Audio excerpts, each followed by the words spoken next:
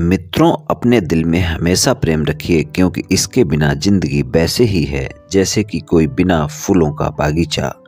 जय श्री कृष्ण मित्रों, फिर एक बार बहुत बहुत हार्दिक स्वागत है आप सभी का। आज हम बात करेंगे कन्या राशि के राशिफल की। कन्या राशि के 14 फरवरी 2023 के प्रेम संबंध और वैवाहिक संबंध के राशिफल की चर्चा करेंगे।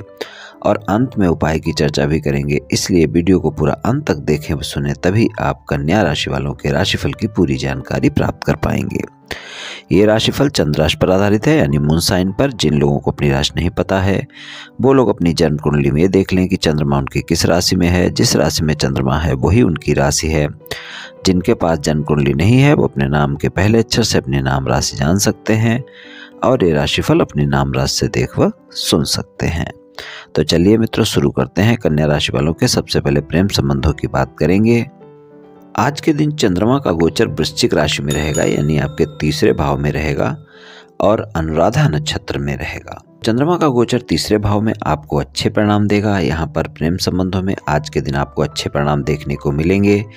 आपका उत्साह बहुत बढ़ा रहेगा, पराक्रम बढ़ा रहेगा, इसलिए थोड़ा सा आप ज़्यादा ऊर्जावान फील करेंगे अपने आप को और उससे ये होगा कि आप कई ऐसी बातें कह सकते हैं अपने साथी से जिसके चलते कोई ना कोई आपका साथी वाद विवाद कर सकता है, इसलिए ध्यान रखें कि बातचीत करते वक्त अपने बाणी पर संयम अवश्य रखें।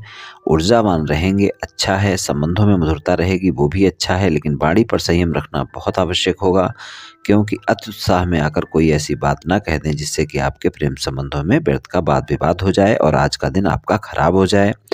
आज का दिन रोमांटिक रहने वाला है, बहुत अच्छा दिन है और आज के दिन आप देखेंगे कि प्रेम संबंधों में काफ़ी मजबूती रहेगी अगर आपने अपनी बाणी पर संयम रखा तो। अगर आप प्रेम संबंधों में किसी साथी की तलाश में हैं और आप उससे मित्रता करना चाहते हैं या फिर किसी से मित्रवत संबंध है, उनको प्रेम संबंधों में बदलना चाहते हैं, मुलाकात करना चाहते हैं, डेट पर जाना चाहते हैं, आपको सफलता मिल सकती है। आज का दिन अच्छा है, आपकी मुलाकात संभव है अपने प्रेमी प्रेमिका के साथ। और अगर आप साथी की तलाश में हैं तो वो तलाश भी आज के दिन आपकी पूरी हो सकती है। बस आपको अपने साथी को प्रस्ताव देते वक्त अपनी बाणी पर संयम रखना बहुत आवश्यक है। आपकी तलाश पूरी हो सकती है, यानी आपका प्रस्ताव स्वीकार किया जा सकता है। और साथी की तलाश आज के दिन आपकी पूरी हो सकती है। कन्या राशि वालों के लिए बहुत ही रोमांटिक दिन रहने वाला है। रोमांस से भरा हुआ दिन है। बस बाणी पर संयम रखें, क्रोध से बचें और आप धैर्य और संयम के साथ प्रस्ताव दें। आपकी साथी की तलाश पूरी हो सकती है। और अगर आपका प्रेम संबंधों में कोई बात विवाद चल रहा है, यानी आपके प्रेम संबंध पहले थे, लेकिन आजकल नो कॉन्ट्रैक्ट सिचुएशन चल रही है, आपकी बातचीत नहीं हो रही है, प्रेम संबंधों में बात विवाद है तो अगर आप वो बात विवाद समाप्त करना चाहते हैं तो आज के दिन वो बात विवाद समाप्त हो सकता है। आप अपने साथी के साथ बातचीत करने का प्रयास करें, आपको सफलता मिल सकती है।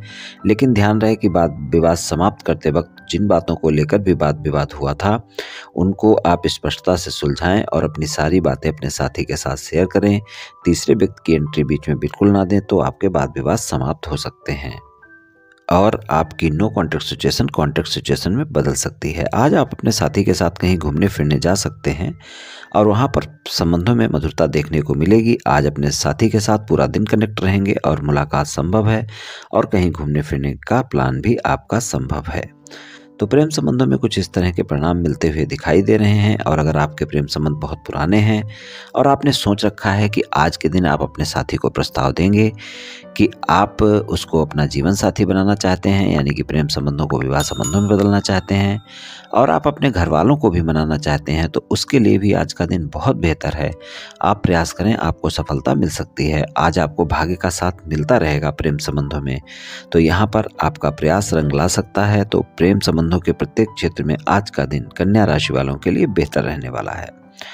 वैवाहिक संबंधों की बात कर लेते हैं, वैवाहिक संबंधों की बात करें तो वहाँ पर भी आज के दिन आपको अच्छे परिणाम देखने को मिलेंगे। जीवन साथी के साथ अगर कोई भी बात विवाद चल रहा था तो आप देखेंगे, स्वतः ही वो आज समाप्त हो जाएगा। आज आप अपने जीवन साथी के साथ समय भी गुजारेंगे और कहीं घूमने फिरने का प्लान भी करेंगे या फिर जाएँगे और वहाँ पर संबंधों में और भी मधुरता बढ़ने वाली है आपकी। तो जीवन साथी के साथ संबंध बहुत अच्छे रहने वाले हैं आज के दिन आपके। बस आपको अपनी बाणी पर संयम रखकर चलना होगा, प्रेम संबंध हो या वैवाहिक संबंध हो, आज के दिन आपको बाणी पर संयम रखना बहुत आवश्यक है, गलत फहमियों से बचना है, क्रोध से बचना है, और बाकी परिणाम आपको अच्छे ही मिलने वाले हैं। अगर आपकी शादी की बातचीत कहीं चल रही है और आप चाहते हैं कि आज के दिन उस बातचीत को पक्का करें तो वहाँ पर भी प्रयास कर सकते हैं और आपकी बातचीत पक्की हो सकती है। तो अविवाहित लोगों के लिए भी दिन अच्छा रहेगा। ससुराल पक्ष के लोगों के साथ बातचीत करते वक्त वहाँ पर आपकी गलत फहमियाँ बढ़ सकती हैं, इसलिए वहाँ पर किसी भी प्रकार के वाद विवाद से बचकर रहें। गलत फहमियों को ना बढ़ने दें तो ये आपके लिए अच्छा रहेगा। जीवन साथी, अगर कोई ऐसा कार्य करते हैं जो शिक्षा के क्षेत्र से जुड़ा हुआ है तो आप देखेंगे वहाँ से आज के दिन कोई ना कोई खुशखबरी आपको मिल सकती है। और जीवन साथी हो, चाहे आपका प्रेमी प्रेम का हो, आज के दिन वो आपके साथ सहयोग करेगा, समय भी बिताएगा और संबंधों में आपके साथ विश्वास भी दिखाएगा और आपके साथ जो समय बीतेगा, आपके साथी का वो समय बहुत अच्छा रहने वाला है, बहुत रोमांटिक रहने वाला है। चलिए उपाय की बात कर लेते हैं। आज के दिन का उपाय है कि आज आप गाय को गुड़ और रोटी खाने के लिए दें, आपको काफ़ी लाभ देखने को मिलेगा। तो मित्रों, आज मैंने आपसे कन्या राशि वालों के प्रेम संबंध और वैवाहिक संबंध के राशिफल की कुछ चर्चा की। आप सभी स्वस्थ रहें, आयुष्मान रहें, धनवान रहें, ऐसी मेरी श्री कृष्ण भगवान से प्रार्थना है। जय श्री कृष्ण।